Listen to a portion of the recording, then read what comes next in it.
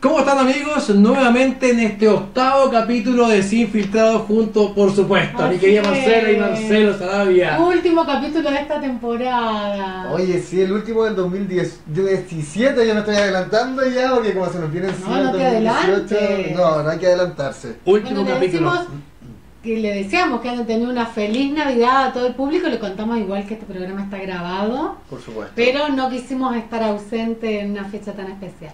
Así es, claramente usted sabe que es un trabajo arduo que nosotros hacemos para todos ustedes, dedicado a cada uno de ustedes, a nuestros seguidores, a nuestros fans, eh, a nuestros... A los fans club, ¿Tú tienes fan club? no. ¿No?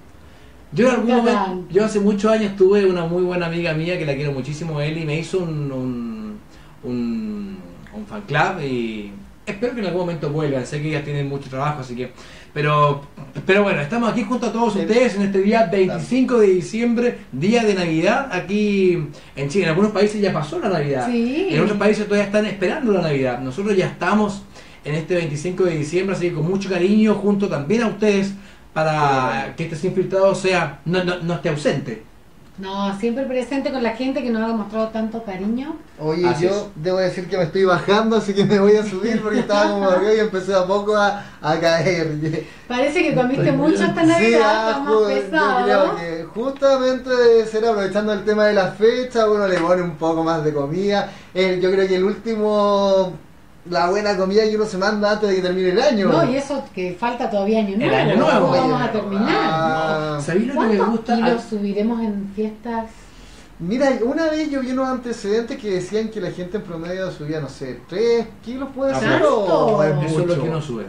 No, y eh, eh, saca la cuenta. la ¿no? Que- comida, el copete. Puh, Y piensa que sí. varios días. No, y piensa que es solamente Navidad, porque para, la- para el 18, No, ahí, ahí- sí que, ahí ahí sí que uno sufre. ¿Por qué? Porque sufre y sube, porque intenta como que limitarse un poco, digo, porque no, esto sí que no, y al final te zampáis. No, y además que para en septiembre Sí. tampoco hace tanto calor. Ahora, para estas fiestas, por lo general, eh, hace como, como estos días eh, calor, entonces podés comer más fruta. Cosas más frescas que en Sí, definitiva no hacen que la dieta no se descuadre tanto. Para ah. fiestas patrias.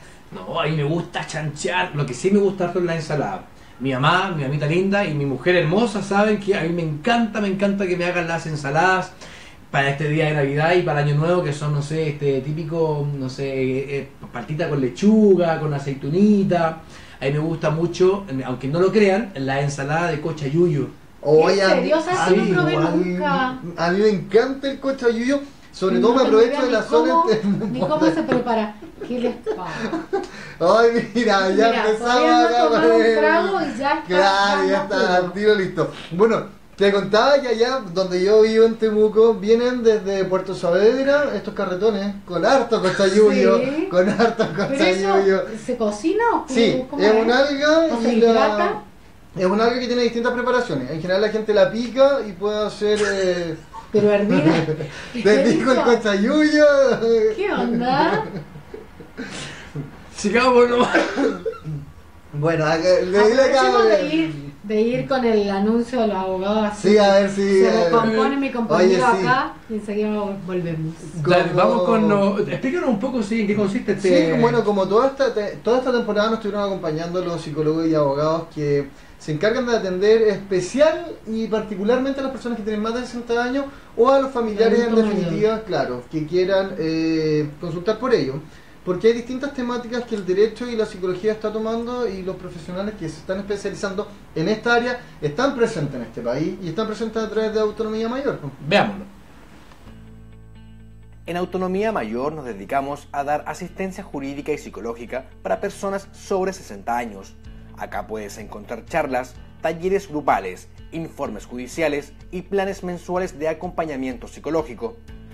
Si necesitas ayuda como esta, contáctate con Agustín Moreno Pelizari al mail autonomiamayor.gmail.com o al contacto más 569-867-67974.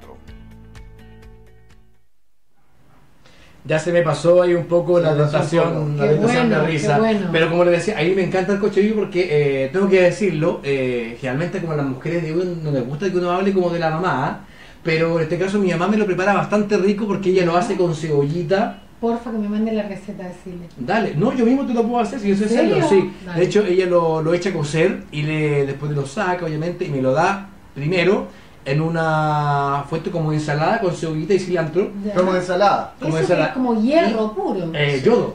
Yo. Ah, yo. Ay, pero. Claro, Yo- que es como así. ¿Qué hay Y me lo hace en carbonada. ¿En carbonada? ¿Nunca lo comí en carbonada? ¿El cochoyuyo? Yo le voy a hacer cochayuyo en Le carbonada. ponemos la- No, y es como hacer una carbonada de vacuno con carnecita, pero en vez de la carne lleva cochayuyo. Y eso a mí me requete contra encanta.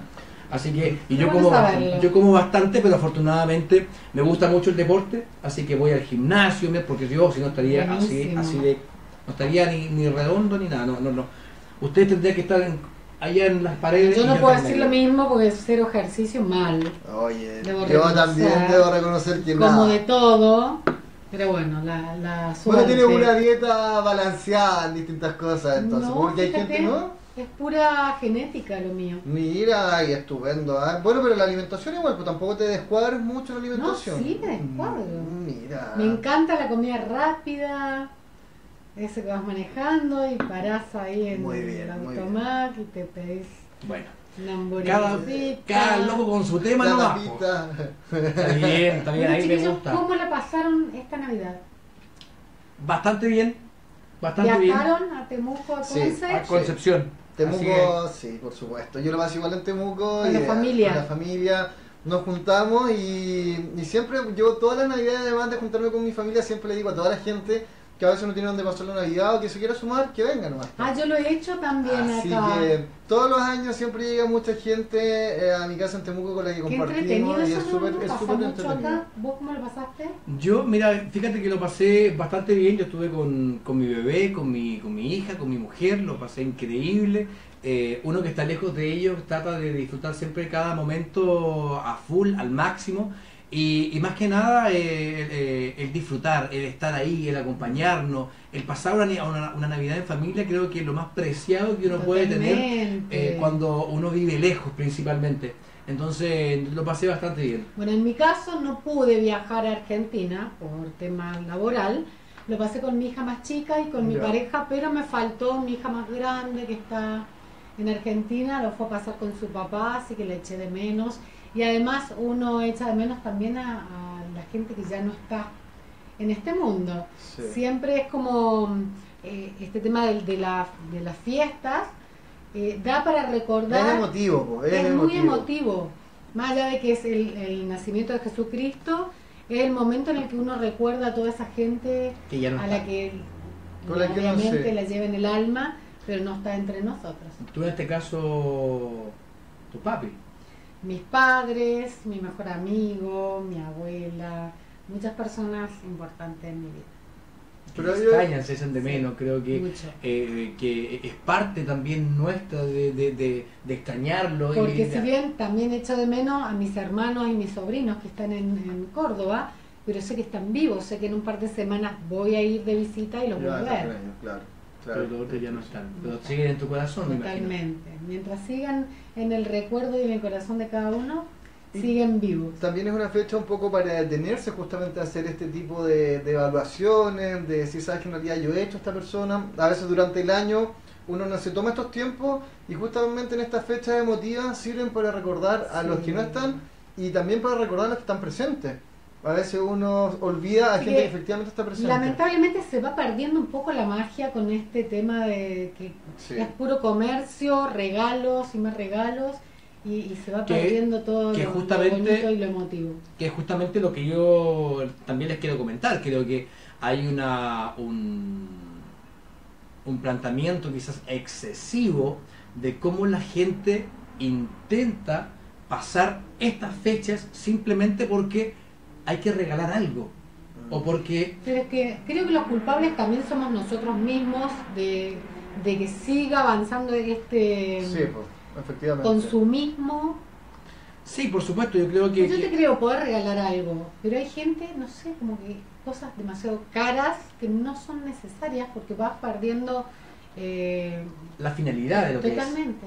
Sí, y, y pasa principalmente ¿por qué? porque cada vez lo- lo- los niños en este caso van eh, adquiriendo nuevos conocimientos ya no es el tema de que es compartir en familia, estar todos juntos.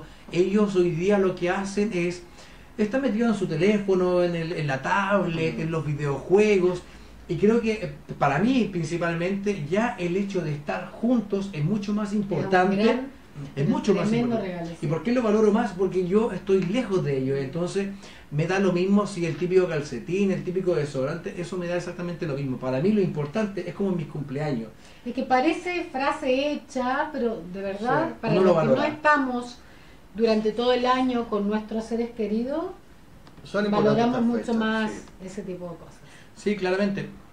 Bueno, señalar también quizás eh, los puntos en contra siempre eh, tenemos los viajes que los pasajes suben a niveles, pero generalmente el triple.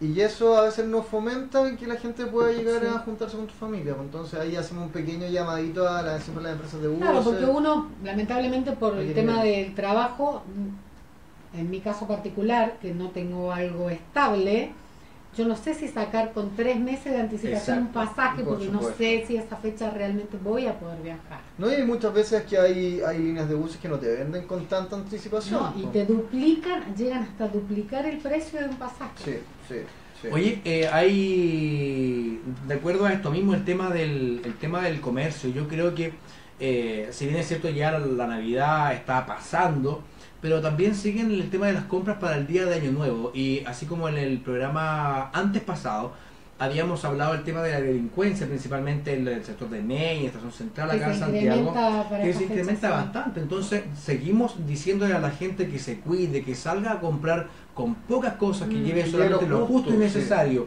Y la señora que ese escondite que uno llama a veces, inclusive uno medio quizás medio morboso, medio vulgar, póngase la chauchera entre medio para que nadie se la saque.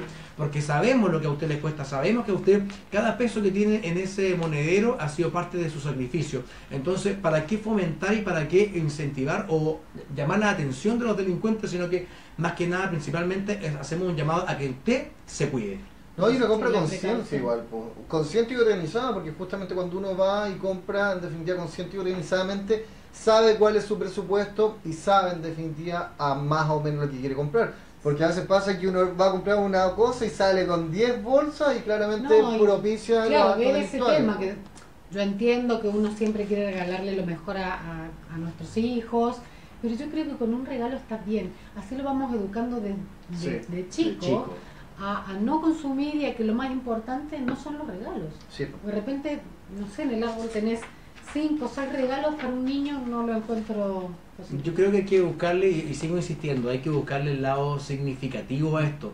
Y eh, la crianza parte por casa. Yo creo que es súper importante incul- inculcar hoy a los niños de que el tema material no es lo importante. Lo importante es la familia, lo importante es el amor, lo importante es el cariño, el estar juntos. Eso creo que es lo primordial. ¿Y cómo lo hacen ustedes? Porque, por ejemplo, yo con mi hija, bueno, ahora ya no, porque la más chica tiene 12, ya no, no cree en el viejito pascuero, pero, por ejemplo, yo lo que hacía 10 minutos antes de las 12, mandaba a alguien a que le diera una vuelta a manzana. Siempre, yo no sé por qué, pero se escuchaban algunas campanas y, y decían, ay, pasó el viejito, ¿lo viste? Y llegaba a la casa y ya estaban los regalos puestos en el árbol. Sí, sí, sí. Eso, Eso es magia. maravilloso. Sí, Eso es la magia. Y yo creo que eso, por- por lo menos en, mi, en, mi, en, en el sur, allá se sigue usando. Bueno, sí, pero también hay familias que tienen la tradición de que efectivamente se acuestan la noche, cenan el día 24 de la noche, se acuestan, los niños se van ya a dormir y al otro día cuando ya se despiertan, se despiertan con la magia de los Ah, regalos. No, eso en Argentina se hace, pero para los Reyes Magos, que acá no existe, que es el Lo de los 6 de huevitos. enero. No, no, no, Ah, enero. no, no, no. Los tres Reyes Magos eh, que traen regalos también. Ah, y es que eso es como otra fecha. Es sí, como, el, es como el Pero- 18 chico, pero en Argentina para Navidad. Porque acá... No, es en enero. Sí, pero me refiero a lo los mismo, porque tiene como la Navidad regalos chica. por el nacimiento de Jesús.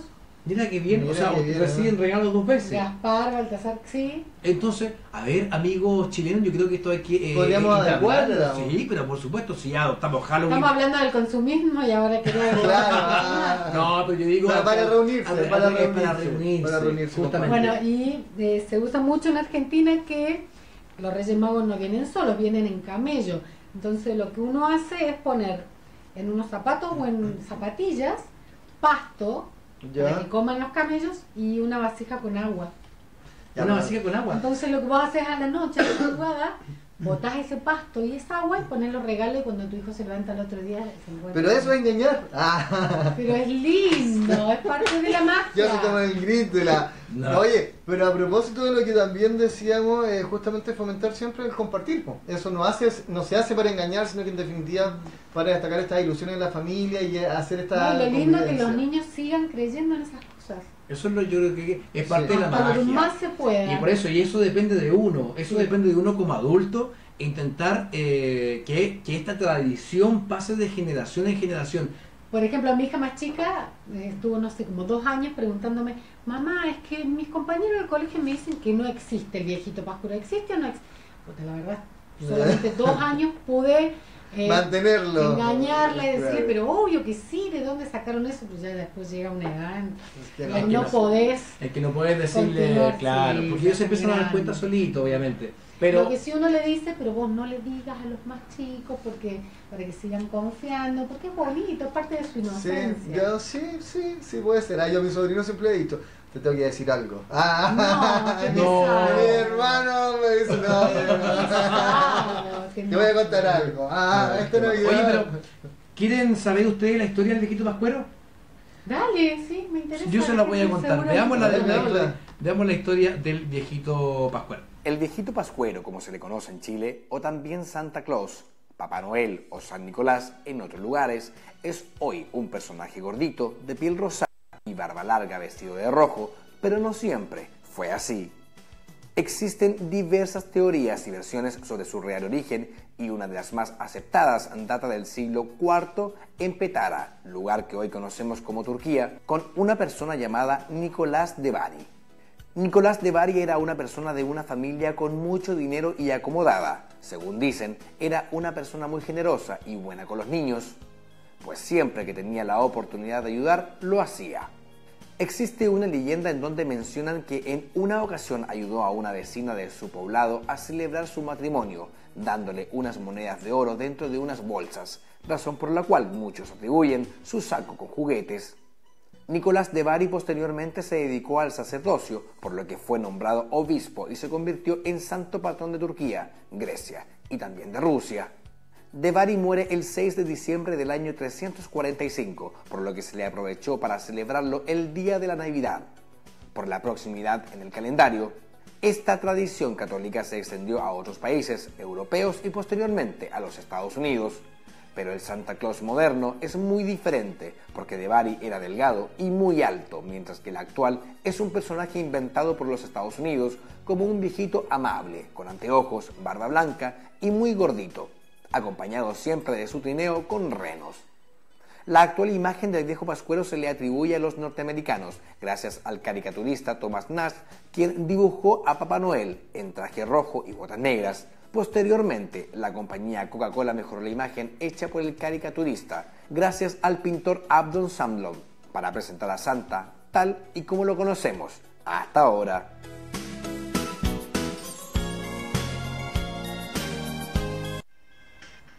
Qué raro, ¿no? Los gringos siempre cambiando todo. Así es, eh, yo creo que es como que ellos tienen el, el- el poder de hacernos creer y de cambiarnos también el, el mundo y la perspectiva también de las cosas, porque el papá, el, el- el- el Papá Noel o Sí, el, viejito viejo Pascuero, Santa Claus. es totalmente distinto a lo que nosotros realmente Vivimos sabemos. fecha. Exacto. Sobre todo hasta climáticamente la figura es distinta. La representación del viejo pascuero es en un clima invernal, invierno. efectivamente, y nosotros Exacto. adoptamos toda esa costumbre. Yo creo que hay que que apelar por el han No. adoptado muchas...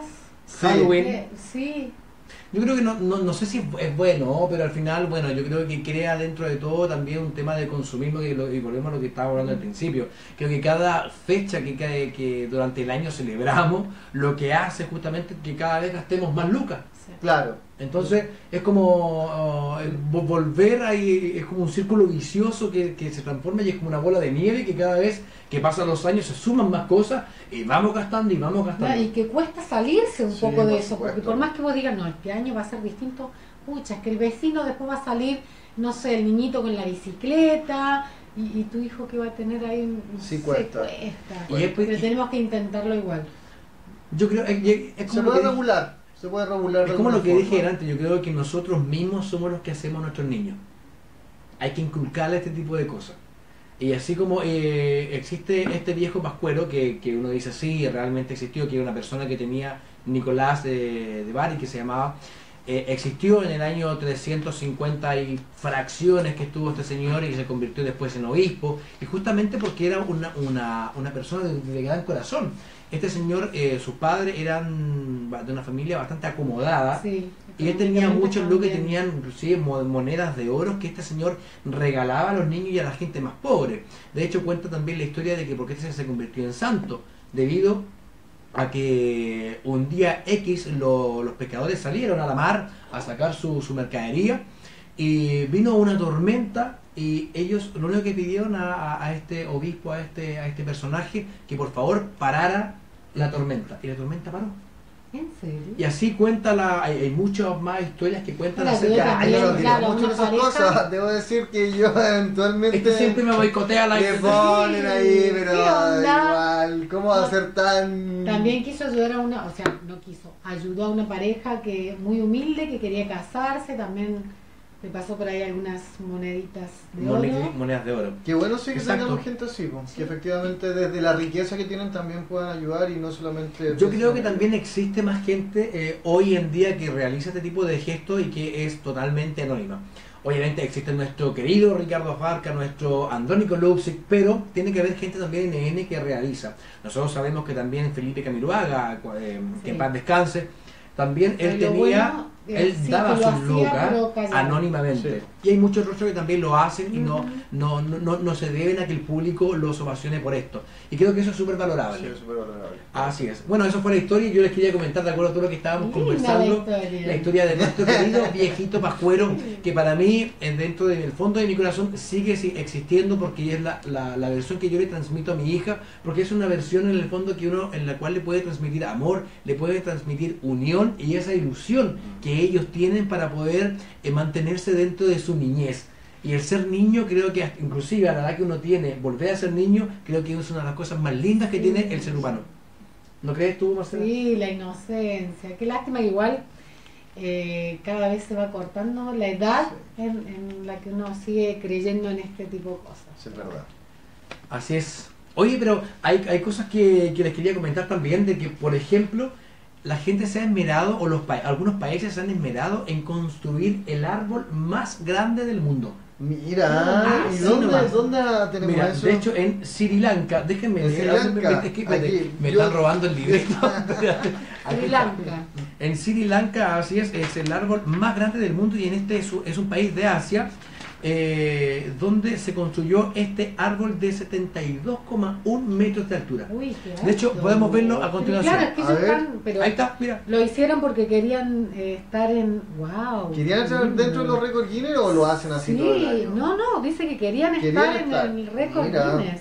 Así es. Por estar en el récord Guinness ganarán lucas. Le dan sus lucas. ¿no? Sí, por Y aparte de eso que yo creo que tiene que haber publicidad y todo el tema, porque aparecen las guías Guinness, efectivamente, entonces eso hay que que la gente finalmente viaje y lo vea. Esa es la atracción final del récord Guinness, de que produzca gente vaya. publicidad. Claro. Es, es como las maravillas del mundo. Claro. Exactamente lo mismo. Tienen como es. Ahora, récord Guinness hay miles y miles y Sí, miles. sí, sí. Y, eh, Es maravilla- así un libro.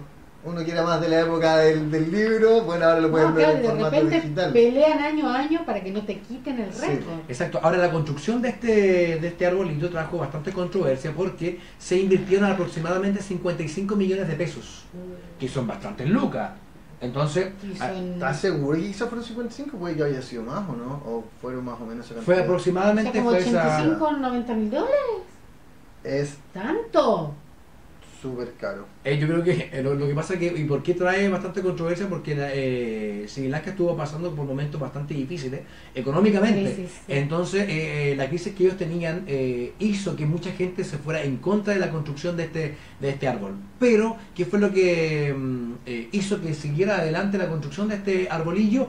Eh, que los privados se sumaran a la, a la construcción. Y ahí Y ahí pusieron sus lucas y se Ah, pudo construir. pues. Y yo creo que es parte de, es parte de la entretención, es parte para que los niños también y la gente tenga un lugar donde asistir y poder realizar algún tipo de actividad, algún tipo de show, porque se inauguró también este árbol. Y yo imagino que invitan a sus cantantes conocidos allá. Claro, como Hernández, show, pues. Luis todo Y ahora, por ejemplo, la gente podría participar en, en, en la construcción de este árbol o no.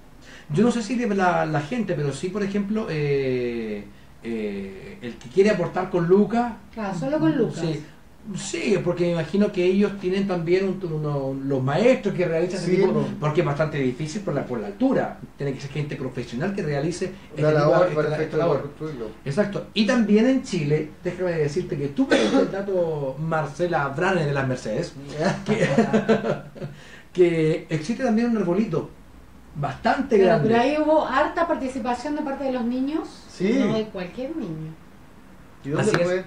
Este árbol está construido en el Hotel Santiago, en la comuna de Las Condes, ¿no es así? Vitacura. Eh, Vitacura. ¿Cuál era la intersección que dijiste? Eh, Vespucio con Kennedy lateral está Ya. el Hotel Santiago. Ahí está. no ¿Y ahí está el árbol más grande o no? Estamos No, viendo- no es el más grande, Estamos viendo Pero- el video ahí, mira. pero está hecho con trabajo realizado por niños eh, con problemas, con, discapacidades.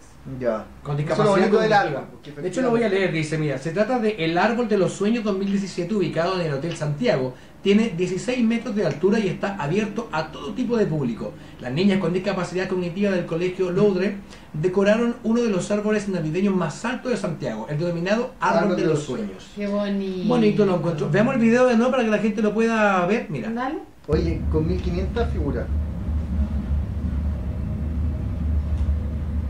mira qué bonito. Precioso. Por eso yo te preguntaba recién si el de Sri Lanka eh, Era como una participación comunitaria. Claro, claro, en este sí. caso, en este caso no, fue construido porque al realmente. ser tan grande de repente algún aporte así como Claro. adorno hecho por las familias hubiera sido positivo igual. Por supuesto. Así es. Precioso el arbolito. Pregunta por, por saber, ¿tienes algún regalo especial que te hayan dado o alguna Navidad especial que haya vivido en, en Argentina o acá en Chile? Que te haya quedado siempre en la memoria. Eh, algún regalo especial. El primer dibujito que me hizo mi hija cuando era muy chiquitita con el arbolito. Oh, Ella y yo, ese lo tengo guardado ahí siempre, en, en mi mesita. ¿Y qué te provoca? ¿Qué te, lo, lo- lo tienes ahí? Lo tengo ahí porque de, de los primeros dibujos que hizo, eh, y ahí uno va viendo también cómo, la evolución, cómo el crece, crecimiento, sí. lindo. Sí, Y sí. el resto de las cosas, lo material, no sé, como que no le encuentro tanto valor. No te acuerdas Puedo tanto, decir sí. que ese fue como de los mejores y más recordados. ¿Y tu Navidad más triste? Oh, Eh, sin lugar a dudas, la primera Navidad sin mi madre, año 2005. Año 2005. Sí. Estabas en Chile ya, ¿no? Eh, sí, yo en- a Chile vine en el 2001. Navidad la pasé allá, pero fue la primera Navidad en que no la tuve a ella. Esa. ¿Qué pasaba contigo en ese momento? ¿Qué sentías en ese momento? Lo hablábamos en el capítulo anterior, eh, que uno echa de menos a las personas eh, en estas fechas tan importantes. Fue muy triste, fue totalmente diferente a todas las anteriores. Y de ahí en más, ninguna Navidad fue igual a las de antes que, que ella partiera. Después obviamente también faltó mi padre, mi abuela, etcétera, etcétera. Eh, pero son, son festividades que uno nunca se olvida, por eso ¿Y hoy cómo lo vives? ¿Sin ellos? triste igual. Trato de disimular por mis hijas, si bien la más grande ya tiene 18, entonces como que entiende más, pero uno trata como de disimular un poquito aunque, aunque cueste, porque es una fiesta, Sí. el nacimiento de Jesucristo.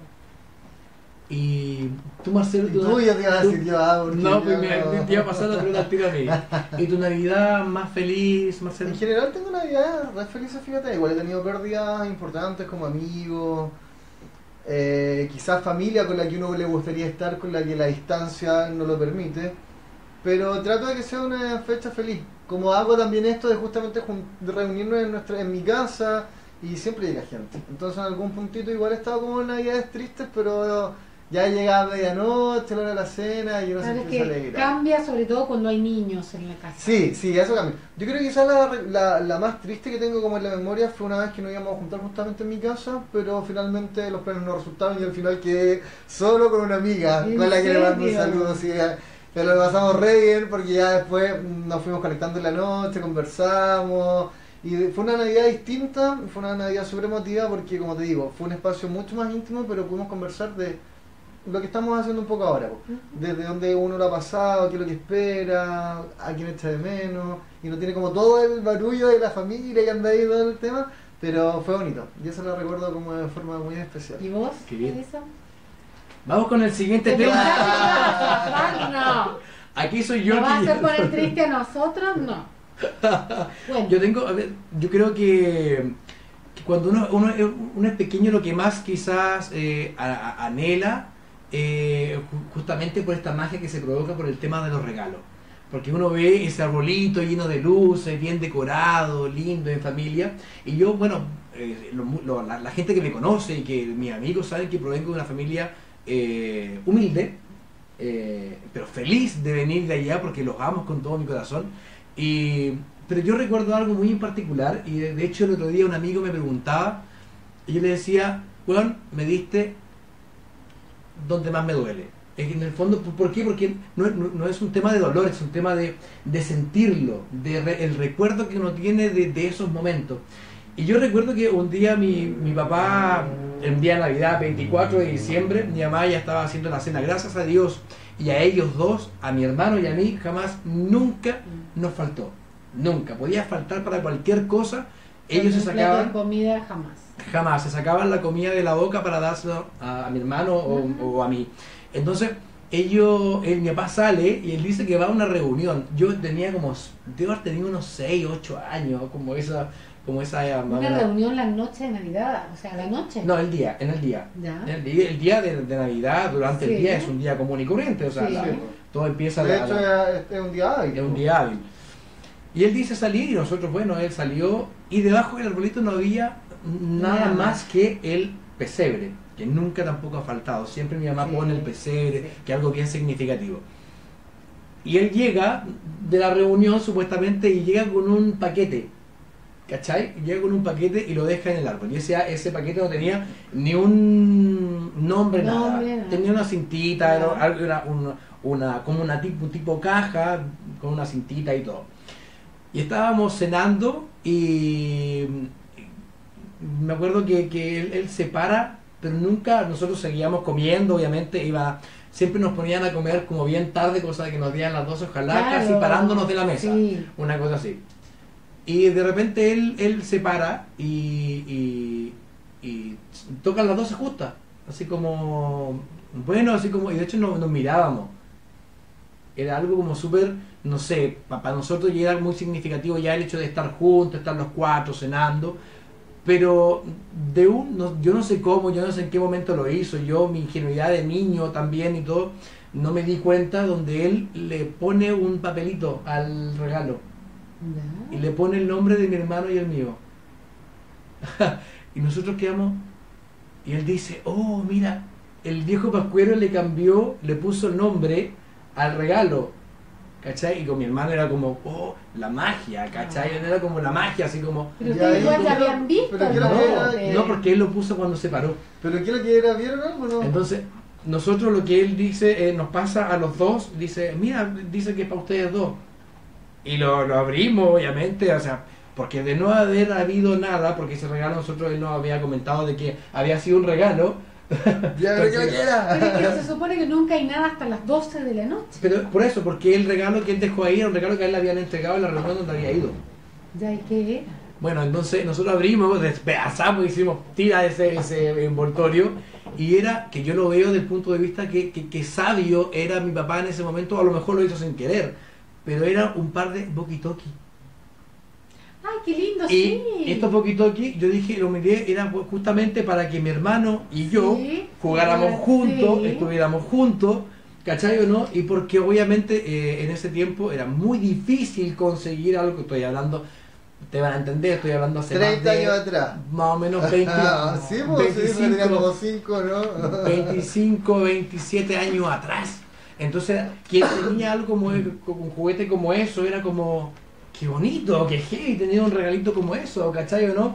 Y bueno, eh, fue Pero esa como- era la tecnología de ese entonces. y yo creo, claro, y yo creo, y usaban estas baterías, y nosotros Sí. éramos, fuimos, créanme que fuimos los niños, yo creo que más felices Más del felices. mundo en ese momento porque estábamos predispuestos a que no iba a haber absolutamente nada, a que ese regalo se convirtió en un regalo que era para nosotros. Qué bonito. Entonces, quizás muchos pueden decir, ah, pero era una cosa material. Si bien es cierto, sí, pero a lo que yo voy es que éramos niños. No, y además que niño- era para compartir. y era para compartir. Y eso es lo que yo más independiente, bueno, con, con mi hermano nos agarramos cuando era chico a compo y todo el cuento, como típico hermano, po. pero siempre estábamos, éramos muy unidos. Muy ¿y ¿Qué unidos. hacen después de las 12, después de abrir los regalos? Por ejemplo, no me ha pasado que en Chile he estado mm, en varias navidades, en los casi 17 años que llevo viviendo en este país, y lo que me pasa, bueno, en una ocasión eh, puse mi casa como para que todo el extranjero, o chileno mismo que no tuviera con quién pasar las fiestas, Llegara. vine a mi casa y fue maravilloso. Eh, pero por lo general lo que me pasa es que cenamos, se abren los regalos, no sé, uno se toma una copa de algo y se va a dormir. En Argentina no es así, en Argentina es como que los vecinos se juntan, uno baila en la En el sur calle. igual, ah, la gente se junta. Pero eso, ¿por qué no? No sé, no pasa acá en Santiago. Yo creo que acá en Santiago un poco por el tema de las distancias, ¿no? porque es distinto acá ponerse de acuerdo y salir a las 12 de la noche a hacerlo quizás en lugares donde la gente se demora menos en llegar. po. Pasa que en, el, en regiones, y no sé si tanto aquí en Santiago, y yo creo que no tanto aquí en Santiago, pero en regiones las familias viven, viven bastante cerca, o viven por lo menos dentro de la, de- de la misma población. No, de repente igual acá y no sé, en, Sí, pues. en Aquí- el club hípico, ponte tú, está la fiesta después de las 12, pero a lo que yo voy en casa, por ejemplo, ya nos juntamos todos en tu casa a las Sí. 1 de la Yo en mañana. general cuando tú para la Navidad ¿No salgo, no salgo y hacemos justamente lo Ya. que tú dices, nos juntamos todos ahí y en general toda la gente va Claro, llegando, va compartiendo. Acá no, no lo he visto. Yo no sé acá en Santiago, Acá se hace muy poco, y de hecho la gente sale. Más que estar en casa, la gente sale. Para mí es como... Eso es lo que yo he Nunca salgo para Navidad, trato de no. Como que a propósito trato de quedarme en Es que casa. uno también piensa de que la gente, no sé, de repente está con un trago de más, que Sí. es peligroso. Puede ser. Mm. Sí, puede ser. Yo creo que, que, que pasa principalmente por ahí, por lo que tú dices. Creo que el salir hoy día, donde no sabes si el que está al lado está borracho, o si está Sí. drogado, o si, eh, no sé, si va manejando, va con la precaución necesaria y te, te, te pasa un accidente. Eh, a veces uno dice, eh, bueno, es, lamentable en cualquier época del año, pero si te pasa en Navidad parece que es como que la emoción es mucho No, peor. sí. Entonces, bueno, yo creo que la gente principalmente lo hace por eso. Y acá, mm, como que no salimos mucho. A mí me ha tocado eh, pasar Navidad solo acá porque no he podido viajar. Pero te fuiste quedado con alguien, con No. amigos acá, nada, Solo, solo. Me ha tocado. Oye, creo que esa fue la mejor Navidad. Bueno, ya sabes que si vas a estar acá, lo puedes pasar a la casa de la Marce. sí, O si no, te vayas a mi casa al sur. Y, y Julio igual, porque también está... Sí, Mira, Julito, extranjero, también. Vamos a hacerlo acá. Julio. Oiga, eh, les quiero comentar. Ah, tú tienes algo que contarme, Marcela. Así es, tengo un buen dato para toda la gente que está en sus casas. Después de haber tomado tanto vino tinto que se Sí. te quedan los dientes Los dientes medio oscuros, oscuros ahí. o que comiste tanto dulce, tanto pan de Pascua, para solucionar el problema y partir el 2018 como corresponde, miren ese dato. Holodent es una empresa de odontología que busca dar un servicio integral a todos sus pacientes, otorgándoles educación en salud bucal y entregando transparencia en sus procedimientos, así como también contribuir con ellos en su bienestar emocional a través de las terapias complementarias. Tenemos el privilegio de contar con profesionales que dedican el tiempo necesario para que nuestros pacientes puedan comprender sus tratamientos desde el inicio. Solo así, el paciente comprende el qué y por qué de su salud bucal. Visita www.holodent.cl y podrás encontrar toda la información que necesitas. Qué buen ¿Te gustó? consejo. ¿Viste el consejo? Sí, buenísimo. Me gusta, de hecho, yo Eh, ya voy a Oloden. Oloden con H siempre, ¿ah? Sí. www.oloden.cl Toda la temporada es infiltrado destacado el Oloden con H. Muy bien. Recuerde, y le- les insisto, visitar www.oloden.cl y encontrarán toda la información que ustedes necesitan, ya sea para los teléfonos, para pedir hora, eh, la- los tratamientos que ellos realizan. Y si ustedes ya van de parte de Sinfiltrados, créanme que van a tener grandes descuentos. Así que, Buenísimo. muy bien. Chicos, yo les quiero comentar que eh, durante estos días, este fin de semana, bueno, hoy ya eh, el lunes, pero el fin de semana estuvimos con una familia que vive en el campamento Las Totoras, en la comuna de, de Quilicura, y estuvimos compartiendo con ellos. ¿Ya? Y eh, a- como equipo, ustedes saben que, bueno, ustedes ya conocen, están con cara de duda, pero ya saben de qué es lo que es. Y le ¿Una hicimos... familia chilena? Es una familia peruana que lleva 15 años viviendo en Chile. Así que a continuación quiero que vean junto a todos nosotros la historia de Anita Martínez. En nuestro país casi el 12% de los chilenos e inmigrantes viven en situación de pobreza. Muchos de ellos están en tomas o en campamentos. El día de hoy en Sin Filtrados conocemos a una luchadora. Esta es la historia de Anita Martínez.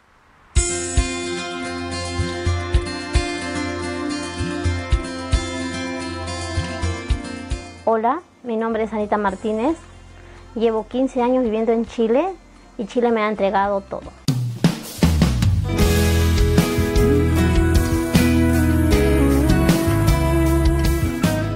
Anita, cuéntame, ¿cómo llegas a Chile?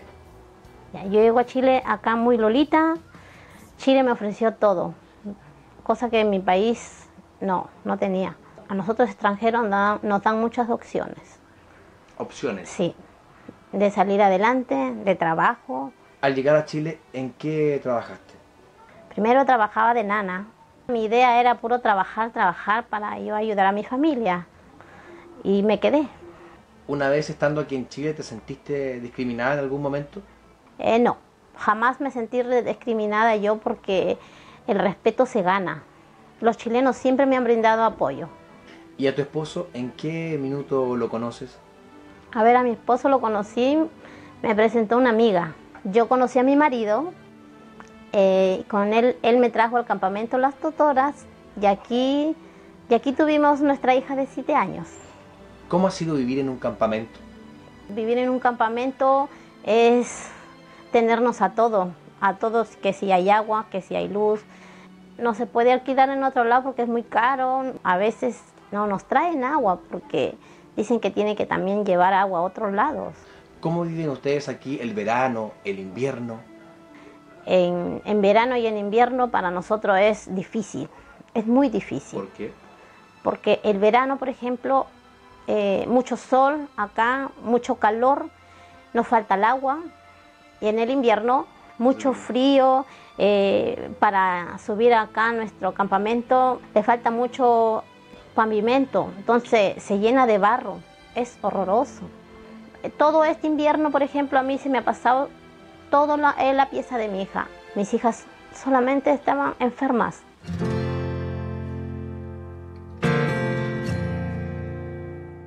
En la actualidad tú tienes dos hijas.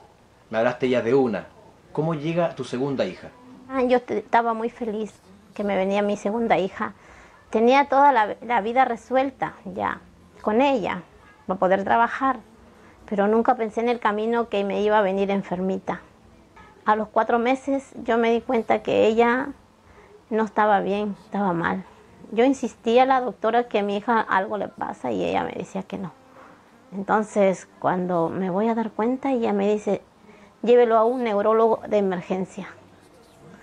Como yo antes trabajaba, yo me fui ese día hasta Providencia. Yo busqué un neurólogo como sea. Pagué particular ese día. Y ahí supe lo que mi hija tenía. Tenía psicomotora global atrasada, síndrome hipotónico, epilepsia. ¿Cómo viviste la enfermedad de tu hija? A mí me dio eh, depresión. Le dejé descuidada a la más chica. A la mayorcita lo dejé descuidada por dedicarme a la más, gra- a la más chiquita. Tan es así que en el, jardín de que ella iba, eh, me llamaron la atención. Hubo un episodio que yo quería tomar a mi hija e irme a, a una playa y tirarme con ella. Pero dije, después mi otra niña más grande, ¿quién lo va a ver? Y no tomar fuerzas y dije, no. Dije, no. Eh, eso hacen las personas que no, que son débiles. Y dije, no, yo puedo. Es que para una madre es difícil que sus hijas vengan mal.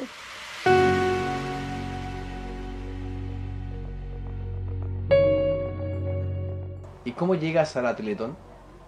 La neuróloga que ve a mi hija en el Roberto del Río, yo la pedí a ella, por favor, eh, que me derive a la Teletón. Eh, mi hija ya tiene cinco años, eh, tres años lleva en la Teletón y la Teletón para mí me ha servido demasiado. No tengo palabras para, para agradecerle, gracias a ellos. Y gracias a la gente linda que encontré en mi camino, que me dijeron, es tu hija que ha venido por bendición. Hoy día me hace más fuerte, hoy día digo yo puedo. Y ahí estoy.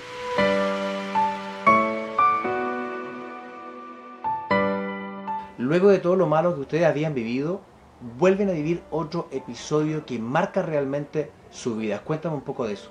Sucedió que se quemó todo mi casa. Nos quedamos en cero. Yo andaba trabajando ese día.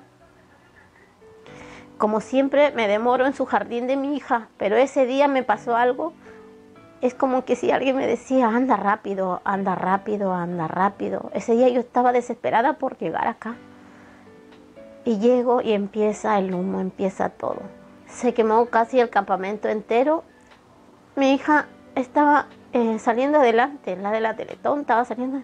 Cuando se me quema todas sus cosas de ella. Yo tenía en mi casa como una mini Teletón para ella. Todo lo que es de estimulación, todas esas cosas, yo tenía muchas para ella. Y se quemó todo.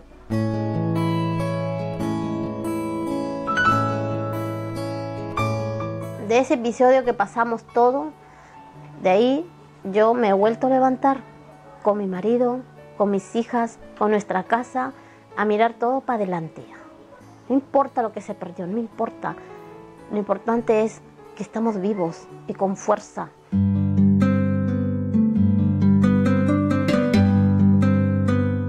¿Cuál es su sueño?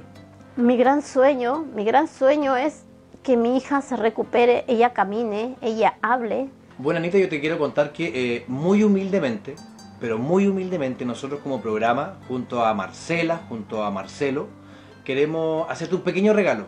A veces siempre recibir un regaloneo no es malo. Nosotros con la producción hemos traído unas cositas para que tengas una cena rica y disfrutes con tus dos hijas y con tu marido.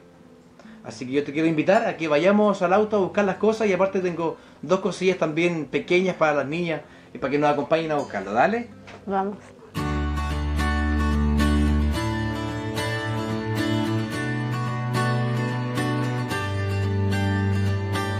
Bueno, Anita, simplemente decirte que es un honor para, para nosotros como programa haberte conocido, haber conocido tu familia, tus hijas, tu marido una familia de esfuerzo, una familia que realmente se merece que sean apoyados. Gracias. Realmente se ven gracias, muchas gracias.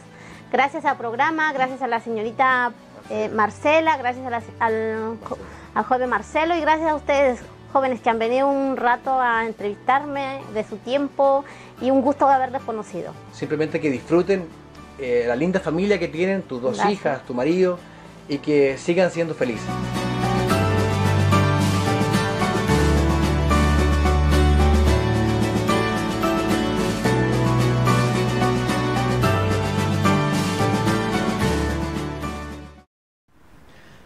Esa fue la historia de, Anita y su familia. Oye, su familia de Perú, ah, 15 años llevan acá en Chile viviendo. 15 años y han pasado No, qué por... tremenda la, la situación por la que han vivido y por la que siguen viviendo. Lamentablemente, creo que es eh, eh, la realidad de muchas personas, no solo extranjeras, Sí.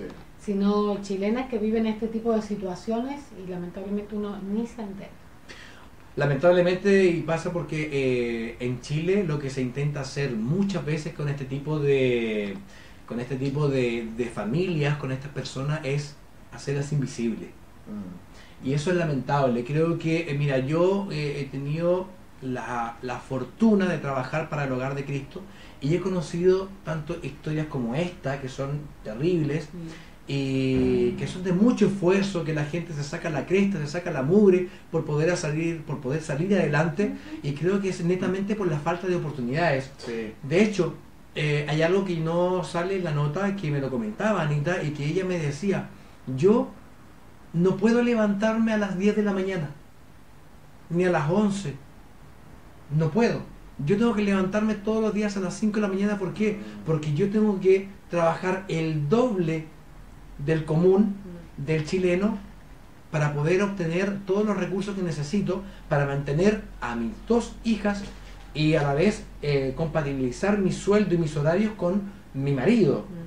Porque recordemos, bueno, ella tiene una hija con, con discapacidad que está que asiste a la Teletón, Sí. ella lleva tres años en la Teletón y que gracias, ella está muy agradecida de Chile, muy agradecida de los chilenos, de la Teletón en general, de todo lo que le ha sucedido acá. Recordemos que también tuvo un accidente donde se le Se quemó quemó. la- el campamento completo, donde toda la gente perdió absolutamente todo, porque las calles donde ellos viven son extremadamente angostas. Están más juntas, po, es porque no hay regularización del plano, entonces esto Exacto. con... A ellos, pues, uno de los factores principales de por qué se quemó toda la población, o casi toda la población, creo que fueron tres casas las que se salvaron.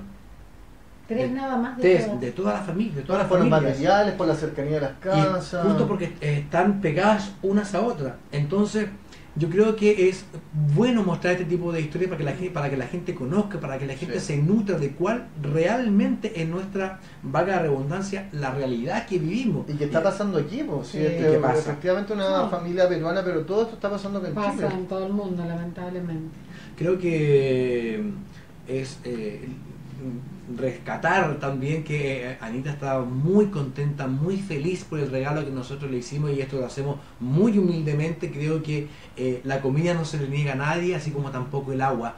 Creo que eh, hacerle este regalo, que nosotros tomamos la iniciativa solos de ir al supermercado y ver, a ver, ¿qué es lo que necesita alguien para una cena de Navidad? No sé, eh, papa, eh, carne, un poco de carne, su bebida, el jugo, adornar la mesa. Creo Es que la situación de muchos. Sí, por de supuesto. muchas personas. Uno está pensando en, en el regalo y ellos ni siquiera tienen un plato de comida que brindarle a sus hijos. nosotros esperamos que los regalitos que le llevamos ahí a, a Anita. Juanita y su hermana, a Juanita, Juanita. Juanita es la, la- su- una de sus pequeñitas, la que está con, con problemas, y a su hermana le llevamos ahí un regalito, así que esperamos que le haya gustado para que puedan jugar con ellos.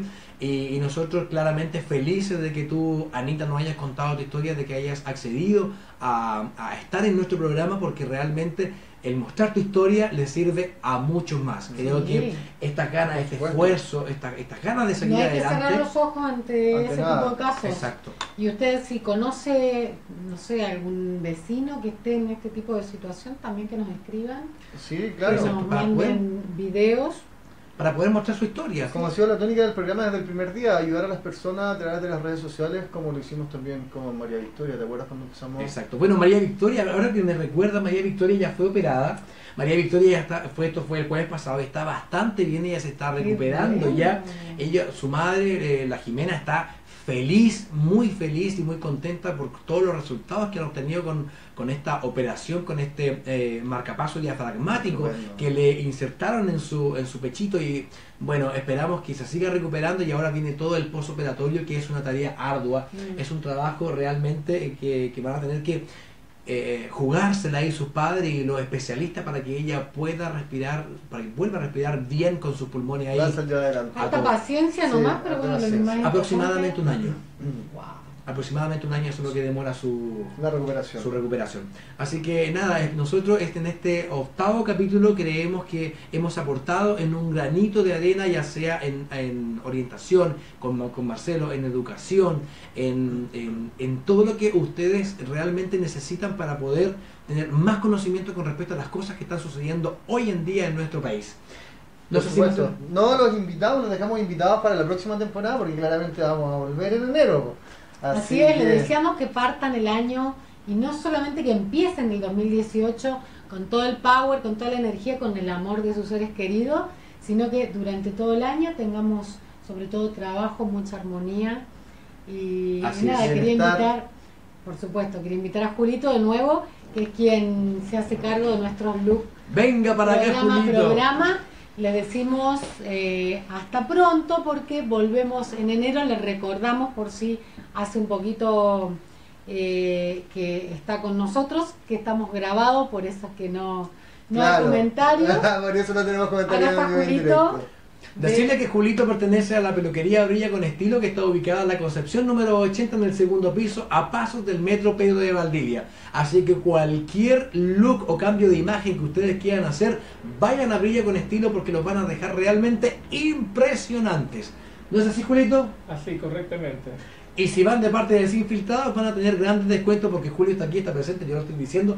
Así ¿Es que vayan. verdad eso? Sí, Sí. pues, No, sí. no nos metas después el equipo Claro. problema. No, no, no, no, no, no, no. Así que, eh, bueno, simplemente agradecerle, decirle eh, que ha sido un gusto estar junto a todos ustedes en estos ocho capítulos. Creo que ha sido también para eh, en, en parte de nutrirnos. a No, una un enriquecimiento. Hemos aprendido muchísimo. Sí. Esto de llevar un programa solito no es fácil. No, No, es fácil, pero hemos hecho todo Harto esto con, esfuerzo. Oye, con la esfuerzo gente, con la y gente con que nos ha cariño. ayudado. Bueno, este, como decías tú, Marcela, El día de hoy, grabados, pero siempre con todos los otros programas Así con los comentarios presentes. el día de hoy no está nuestro querido Oscar Molina, que ha sido parte eh, importante de nuestro Y equipo. nuestro querido director. Es nuestro Sí. querido director, él está trabajando en este momento y en otro lugar, obviamente. Y, y nada, simplemente agradecerle a él, agradecerle a todos ustedes. Te agradezco, Marcela, Marcelo, Gracias a usted, que es un pequeño equipo, pero el corazón gigante.